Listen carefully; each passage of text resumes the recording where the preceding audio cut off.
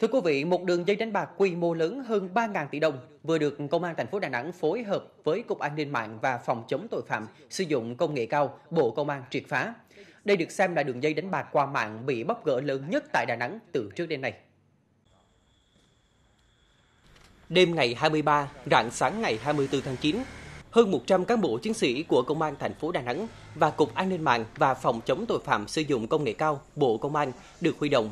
Khi mệnh lệnh xuất phát được công bố, hơn 20 tổ công tác cùng lúc ập vào các địa điểm được theo dõi từ trước. Tổ công tác đặc biệt có nhiệm vụ bắt giữ Huỳnh Ngọc Anh, 48 tuổi, trú tại phường Đại Hiên Đông, quận Sơn Trà, được xem là đối tượng cầm đầu đường dây ở thành phố Đà Nẵng và tỉnh Gia Lai.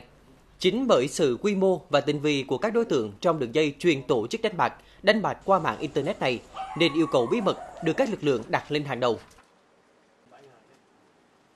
Cuối tháng 6, tôi có vào Sài Gòn, nó gặp bạn là Tuấn hồi xưa ở cùng trại. Nó có giới thiệu qua chỗ Dũng, rồi nhắn cái số điện thoại qua cái điện thì à, tôi gặp Dũng, à, nói chuyện với Dũng, trao đổi Dũng à, uống cà phê là tôi lấy trang mạng của Dũng về chia ra những con lẻ cho cho khách. Là có khi hàng tháng hàng tuần là là là có khi là kiếm được nhiều là năm chục không là ba chục. Có khi là khách mình vẫn chung cho khách. Cái này đỏ đen thì có, có ăn có thua chứ không phải là là nó thua hết theo cơ quan điều tra, hoạt động của Huỳnh Ngọc Anh và đồng bọn bắt đầu từ năm 2020 thông qua việc sử dụng trang mạng đánh bạc có máy chủ đặt ở nước ngoài như bóng 88.com, bóng 88.net Booking88.net, Smartbooking88.net để mở tài khoản tổng các cược, các môn thể thao như bóng đá, bóng rổ, đánh bài, vân vân. Huỳnh Ngọc Anh đã phân phối và quản lý các tài khoản con bên dưới sự trợ giúp của em ruột là Huỳnh Ngọc Đính, 39 tuổi, trú quận Sơn Trà. Việc nhanh chóng bắt giữ các đối tượng trong đường dây này tại thành phố Đà Nẵng đã được người dân và chính quyền thành phố đánh giá cao.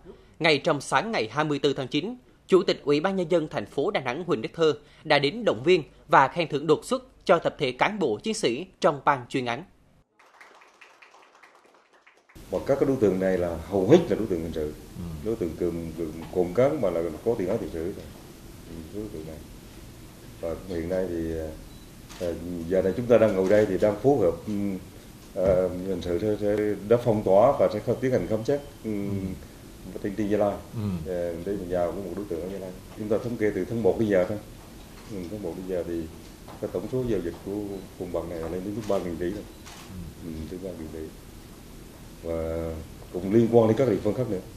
Con số ba ngàn tỷ này mà nếu chúng ta mà tính toán theo cái kiểu mà dây chuyền á nó quét qua một cái dây chuyền qua một cái hệ lụy như chúng ta nói này, đánh bạc thua này đi mượn tiền này, à, rồi đi trộm cướp này rồi đi cho vay nặng lãi này vân vân vân.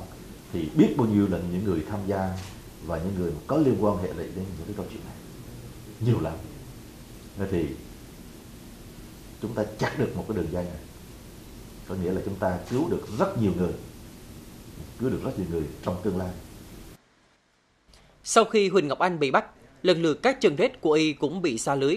Công an thành phố đã bắt giữ được 17 đối tượng khác thu giữ 1,2 tỷ đồng tiền mặt một khẩu súng ba cây kiếm nhiều đạn và công cụ hỗ trợ cùng số tài liệu liên quan đến việc tổ chức đánh bạc, đánh bạc qua mạng Internet. Hiện tại, Công an thành phố Đà Nẵng đang phối hợp với các đơn vị nghiệp vụ của Bộ Công an và Công an tỉnh Gia Lai tiếp tục mở rộng, làm rõ các đối tượng liên quan khác.